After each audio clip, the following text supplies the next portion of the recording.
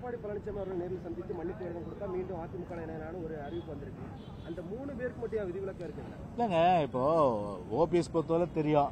உங்களுக்கு எந்த அளவுக்கு வந்து இதே இது மாளிகை எம்ஜிஆர் மாளிகை தலைமை கழகத்தை. அது அவங்க ஆட்களை வந்து ஒரு படையோடு வந்து அடியாட்களோடு வந்து ஊர்வலமாக வந்து எந்த அளவுக்கு அந்த மாளிகை தாக்கப்பட்டது தகர்க்கப்பட்டது ஃபைல்லாம் எடுக்கப்பட்டது காலெல்லாம் வந்து கதவெல்லாம் எட்டி வச்சு அவங்க நிலமெல்லாம் என்ன ஆச்சுன்னு தெரியும். வழக்கு உச்ச நீதிமன்றத்துக்கு போய் சாவியெல்லாம் பூச்சாள்கிட்ட கொடுத்தாச்சு. இது எப்படி ஒரு தொண்டை ஏற்றுப்பான் அது? சரி அவருடைய ஒவ்வொரு செயல்பாடும் திமுக ஒட்டி இருக்கும்போது எப்படி ஏற்றுக்க முடியும்?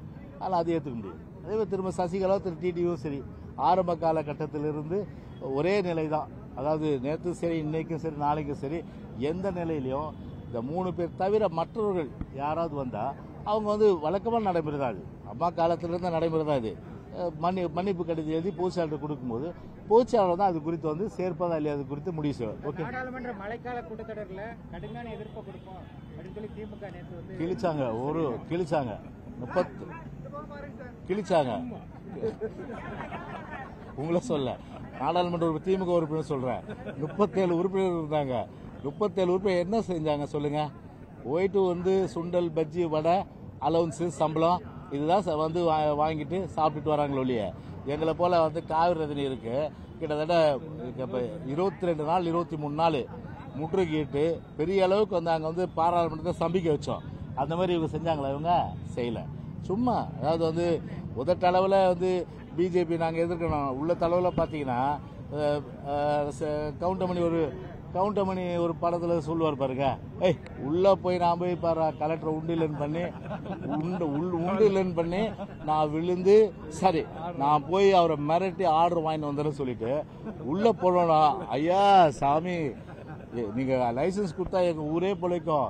இதனால பல பேர் வேலை வரும். லைசன்ஸ் கொடுங்க சாமி சொல்லி காலை விடாம கெட்டியா பிடிச்சி ஒரு வழியா வந்து அவரை கொடுத்துறோமா சொன்ன பிறகுதான் அவர் காலை விட்டார். அந்த மாதிரி பல கெஞ்சல்கள் பல அளவுக்கு வந்து பல அள பல அளவுக்கு எல்லா அளவுக்கு வந்து அவங்களோட உறவு வச்சுக்கிற ஒரு நிலைமை தான் இன்னைக்கு நடந்துட்டுருக்கு இன்னைக்கு. திரைமறைவில்.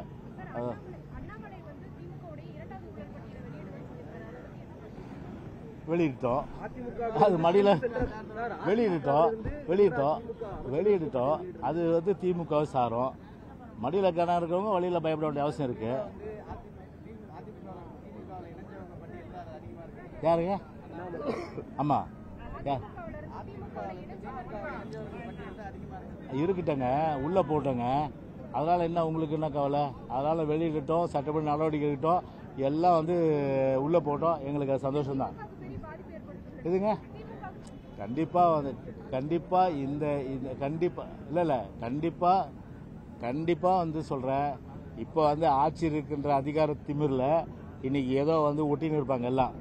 ஒரு சின்ன சரிவு ஆட்சிக்கும் சரி கட்சிக்கும் சரி இது ஆட்சிக்கு ஏற்படும் போது கண்டிப்பாக இந்த இது நெல்லிக்காய் மூட்டை மாதிரி பல பேர் வந்து திமுகலேருந்து வெளியேற நிலைமை இருக்கும். அந்த அளவுக்கு தொண்டர்களே நீ கொதிச்சு போயிருக்கா இன்னைக்கு. இன்னைக்கு ஒரு குடும்பம் மட்டும் தான் வாழ்ந்து திமுக தொண்டர்கள்லாம் வாழ்கிறாங்களா இன்னைக்கு? அவ்வளோ கஷ்டப்பட்டுட்டு இருக்காங்க இன்னைக்கு. இன்னைக்கு அந்த அளவுக்கு வந்து அமைச்சர்களே ஒரு சிலருக்கு தான். அதுவும் வந்து எங்ககிட்டேருந்து போன அமைச்சர்கள். அவர்கள் வந்து அங்கே போய் பெரிய வசூல் மன்னன் ஆயிட்டாங்க. அதை வசூல் மன்னன்லாம் இன்னைக்கு வந்து வசூல் பண்ணி தர்றதுனால இன்னைக்கு அவங்க வச்சிருக்காங்க அது. ஓகே